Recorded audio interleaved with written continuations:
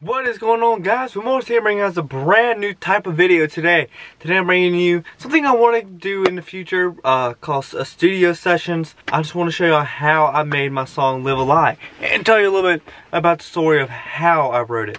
So, start off first, the way I wrote the song. I wrote the song about uh, late April, early May. I wrote it about 30 minutes. I heard the music and I was like, man, I just have to write a song to this. And so I just sat down one day in my dorm room and just cracked it out real quick. And I looked at my roommate and I said, I think I have gold with this one. So that's how the song came to be. I mentioned in the behind the scenes video, the way it came together was pretty quick. I came home from college for the summer First thing I did was sit in my studio and record a demo of Live a Lie, not expecting it to be out anytime soon because I had like a plan for my music and this song just spoke that it needed to be out. And so I just kind of readjusted everything and said, alright, super speeding it, which in which had the super fast album artwork shoot, music video and all that just kind of zoomed on really fast but I'm really happy with the way it all turned out and you know, this song, it's the first song I've done in Adobe Audition, so it's a lot of learning and a lot of just learning new techniques when it came to recording. And I just want to kind of take y'all through what it looks like in my mix file. For this song and every song that I do right now, I mix, record, and engineer it myself. So the first verse is actually pretty simple. It's just one layer.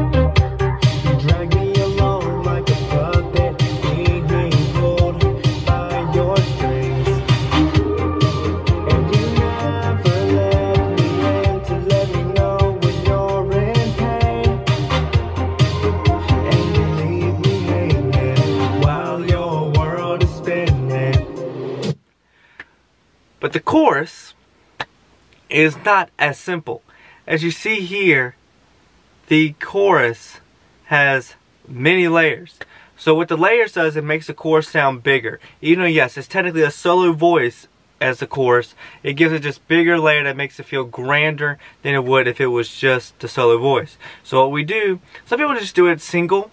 I like to do stereo so that way when you're listening to it, it feels bigger and it feels more like encompassing with the music. And so what I do is, you see the two to say double, that's me singing it the same way I sing the main chorus. It's sung the exact same way, just in two different recordings. And then high left is my falsetto. And I'm going to play these in a second. And that's the where I do the falsetto version of it. And it's and for this song, it's not every song, but for this song specifically, the falsetto was the harmony. And then you see the harmony where I sing the harmony and then you see the deep left and deep right which is like singing down like this and it doesn't sound great but it gives your voice this great bass tone it really just gives it this nice little feel. So we're just gonna I'm gonna single through each one and let you hear what it sounds like. We're going to do the doubles in the second chorus because the first chorus is not a full chorus it's only a second it's only like half of the actual chorus so I'm to show you the double for the second chorus so here we go.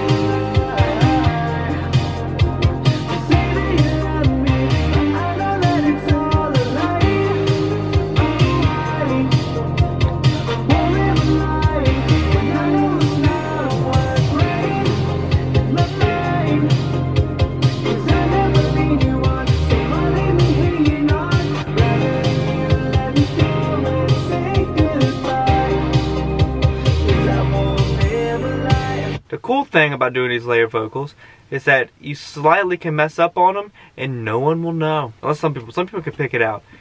Okay, so I'm gonna preface this with the harmony and the falsetto. When you, I do use autotune. Um, this is my first song really experimenting with it. It's not like I use it crazily because I'm pretty good at hitting stuff on tune because I've been vocally trained and you know I've been doing music for years. But you know autotune also kind of gives it this cleaner, smoother sound to the vocals, so I wanted to apply it. But when you do falsetto and harmony, sometimes the autotune's like, what are you trying to do? You're kind of gone, kind of going a little off the rails of what you normally do. So autotune kind of has its own little mind at times. Here is the falsetto.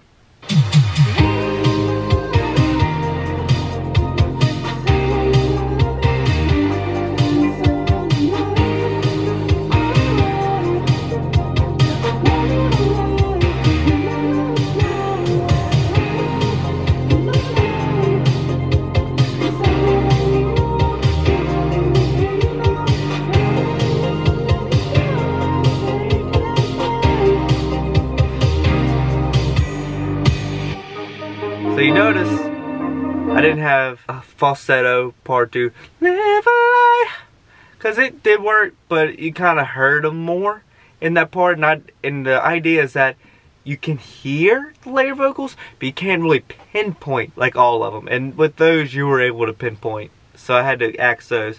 Here's the harmony.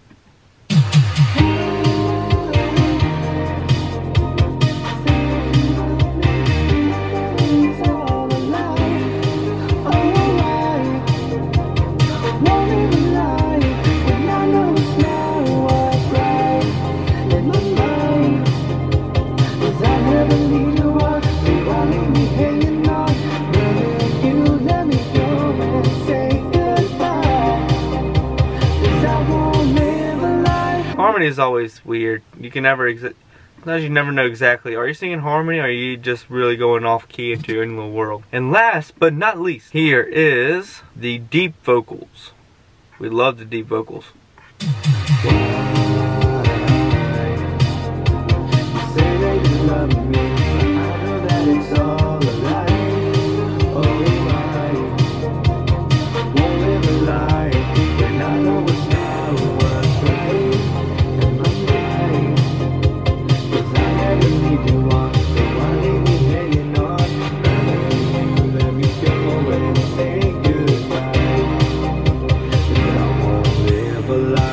Big part of the song was I wanted to make it feel grander.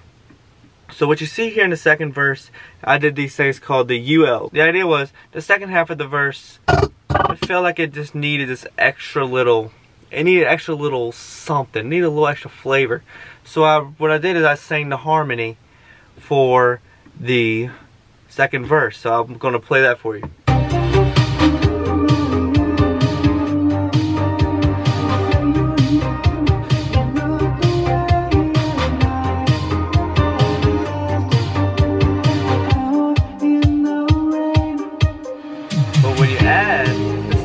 Verse, it becomes. I want to love you, but it's like talking to someone else when I, in my hand, you pull away. I say yeah, your yeah. name, you look away, and I am left out in the rain. So what I really love about that is just it makes the second verse just feel fuller. It makes it separates it from the first verse. It makes it feel bigger and progressing in the song. And then of course you have the ad-libs, which is, fun fact, all the ad-libs in the second verse, these were done all on the first try. Like the first try I said, oh, let's see what ad-libs I can come up with. These were all the first try. Yourself, you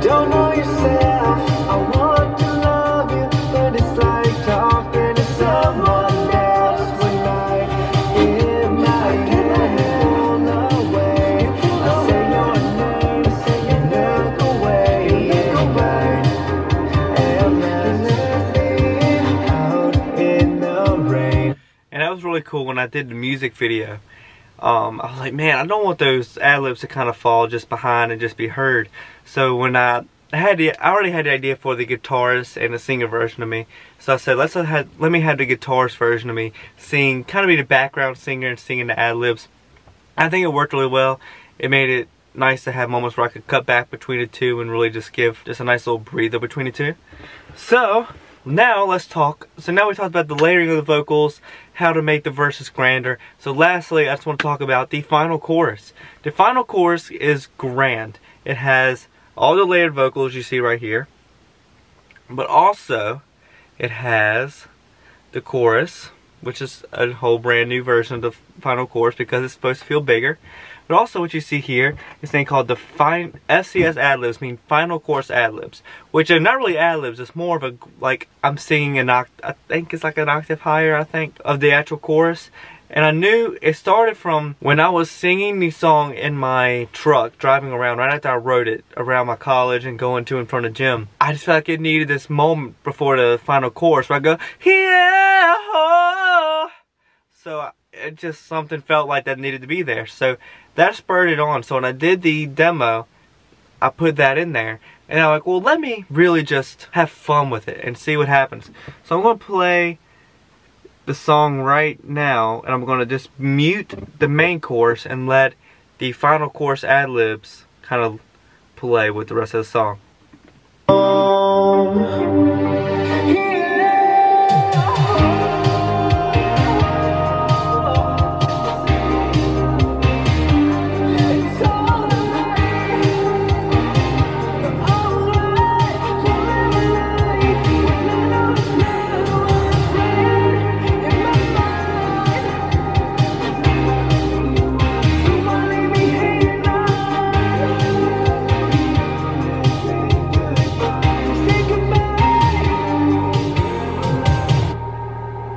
yeah, I love that part. I think it really makes the final chorus sound bigger.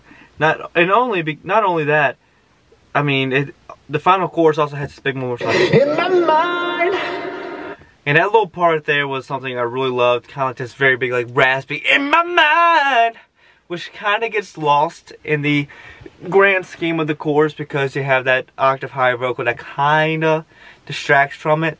And um, but I think they both live, and I think they both kind of exist. And that's the cool part is that they both coexist and one doesn't have to outdo the other. They both just kind of live together and perform great unity amongst the song. And yeah that's pretty much how the song came to be. Uh, recorded it I'll say it's been three weeks two or three weeks recording. Nah I say two weeks Spent two weeks recording it, sent it off to a bunch of people.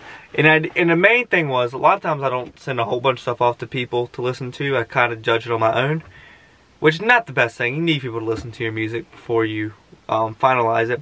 But this song, knowing that I was kind of pushing it out quick, I'm like, alright, let me send it out to more people and get notes on it, music. But this song is my baby. I love it. I think it's a good uh, tone setter also for the music I have coming forward. My music schedule, kind of like so I told a lot of people, and it's true, I know my music schedule, my music release schedule pretty much from like the middle of next year. And who knows what's going to happen because I continue to write songs, so new songs are going to be written and are going to be coming along. You know, you never know what the release schedule is going to look like, but you're going to be getting music consistently from me for the next like year. So just be excited about that. The next song is going to be awesome. Um, getting stuff ready, working on the song, working away the song, and kind of getting stuff ready for the music video. And I'm really excited for the next song and the song after that and what's coming after that and a bigger project is coming later. And um, yeah so I just want to do a little breakdown of how the song was came to be. It's nothing like too crazy. Some songs have a lot of production some are more self-contained but I want to do this with every song that I release going forward. I just really hope you guys enjoyed this video. Make sure to subscribe if you haven't already. Make sure to like this video if you enjoyed.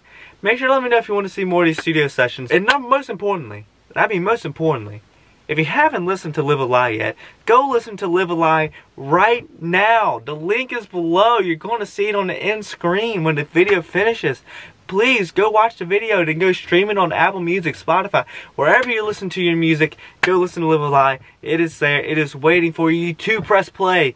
I'm Will Morris. Thank you so much for watching, and I am out. Peace!